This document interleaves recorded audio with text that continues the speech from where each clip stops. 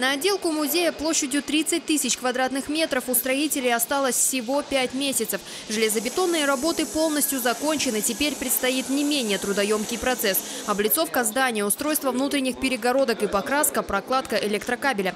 Срок 2016 год был озвучен 5 лет назад, когда началось строительство. И в график, по словам генподрядчика, строители укладываются, тем более, что выделенные средства поступают без задержек.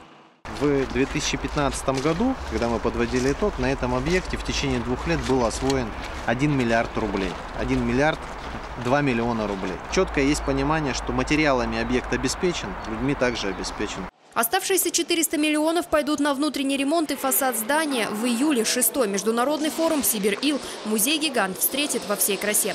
В прошлом году для значимого культурного события страны был открыт центральный модуль комплекса. Тогда зал каменных изваяний посетили тысячи жителей и гостей республики.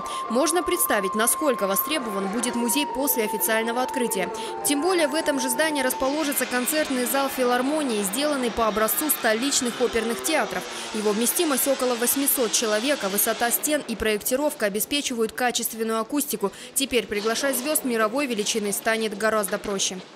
Вы знаете, приезжают звезды различные, у них там бывают техрайдеры сложные, там, допустим, чтобы была индивидуальная санузел, там вот витовская гримерка. И мы сейчас вот в этом здании сможем как бы, обеспечить самые сложные райдеры, которые потребуют от нас наши замечательные приглашенные звезды. Но это все в будущем, а пока расслабляться подрядчикам рано. В ближайшее время стройку проверит лично глава Хакасии Виктор Зимин. Этим летом музей должен быть сдан. До финальной сдачи объекта остались считанные месяцы. И вскоре самый большой музей Сибири будет не только хранить удивительные экспонаты Хакасии, но и сам станет главной достопримечательностью республики. Мария Добрынина, Дмитрий Кузнецов. Вести Хакасия.